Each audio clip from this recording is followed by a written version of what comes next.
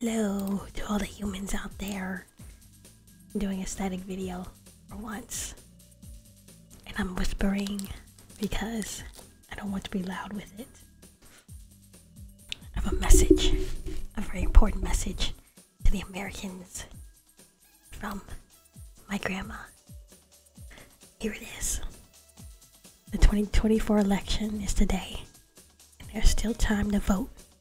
I know some of you trying to decide, but what if you choose a dictator and then you will regret it for the rest of your life and the life of your family? Ask yourself, do I want to live under a regime like Putin's Russia, or Kim Jong un, or Viktor Orban's countries, where they participate in a mock voting election every four years, but the dictator chooses the winner? Do you want to raise your kids under a president who disrespects and hates women? Do you want your, your kids to lie every time they open their mouths for, for them to tell that President Trump lies and, and why they have to tell the truth when he doesn't? Leaders who have a stage presence can take over children's lives. And what are you going to do? Nothing. If Trump wins the, the presidency again, we are going to have a lot of confused young people because the MAGA guys are not real men. Trump and his cohorts are just have they have confused our young men already by trying to teach them how to be men by treating women badly and talking about women in such disgusting ways. Remember that real men have morals, good character, and respect all women.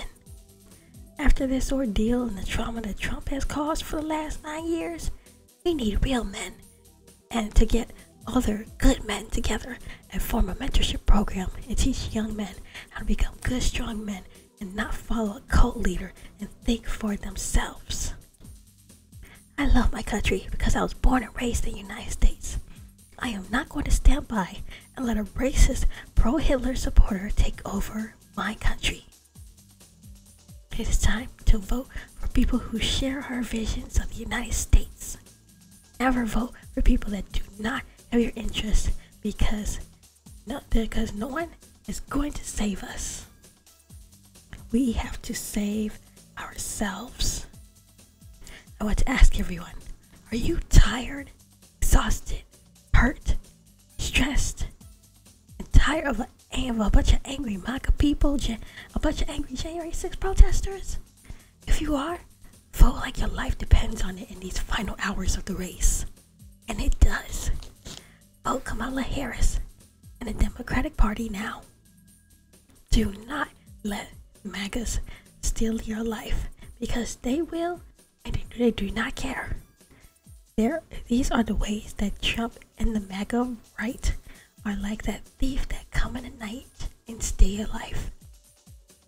And you know they do it by giving police officers complete federal immunity after they kill you because they know that there will be no consequences for their actions if they do that. And they execute prisoners on death row, even if they're innocent. It's happened already.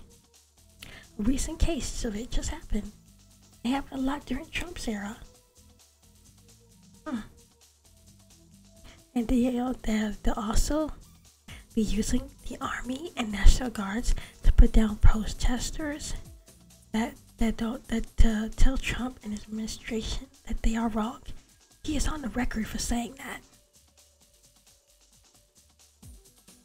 Now, women all over the United States will continue to die because of the fall of Roe versus Wade. Trump and his administration are going backwards. However, we have a chance to go forward with Madam President Vice Hair, Madam Madam Vice President Harris when you go into that voting booth in these last hours, vote for all of us and choose the light, not darkness. Good luck and do the right thing. P.S. Remember, bullies are weak and get other people to do their dirty work. Stay safe out there, people. Goodbye. Oh, and one last thing. This is the dude y'all want to vote for? L people on the right. And like, look, look at how, look at how fluffy she looked with her hubby.